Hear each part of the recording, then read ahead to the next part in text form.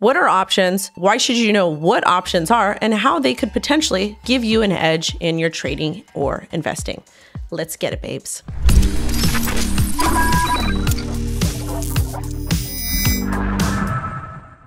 We're going to go ahead and use Bybit to talk about options because Bybit offers option trading.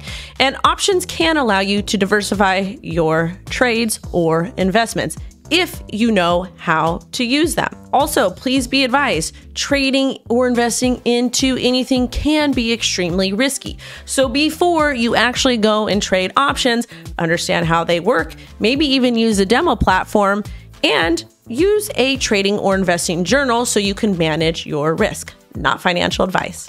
So on Bybit, you simply go down to USDC options, or we can go ahead and click this over here.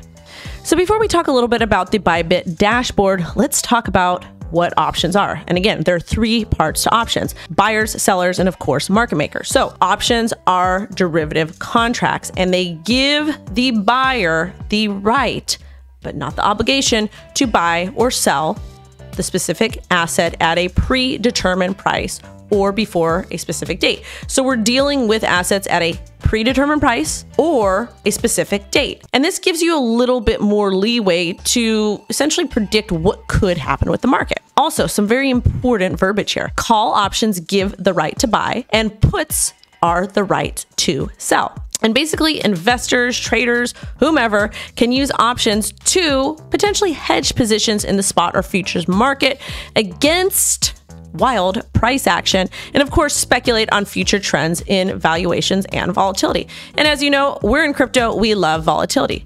So, the third part of options are going to be with market makers. What do they do? Market makers provide liquidity to an order book by creating buy and sell orders, and they earn their money from the spread between the bid and the ask price and trade the underlying asset to keep their net exposure market neutral. However, a lot of people like to trade options for hedging, but hedging can bring volatility, especially right before major options expire. And in crypto, we hear about options expiring often, especially with Bitcoin. That's why folks like to trade it.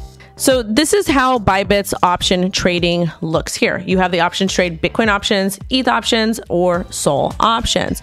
You've got your cross up here.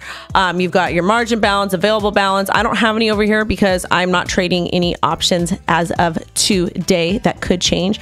And then down over here, you get to see all the different expiration dates, the ATM options, and of course, recent trades if you have any.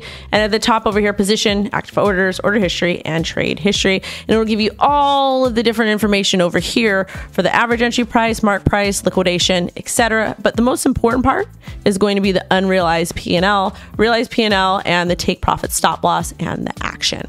I hope this video helped you understand the basics of options. Options work really well for some folks, but not so well for other folks. So it's important to know the very basics just because it expands your knowledge. And hey, you might want to open an options position to kind of hedge against some other positions that you do have, depending on your risk management. Thank you all for watching.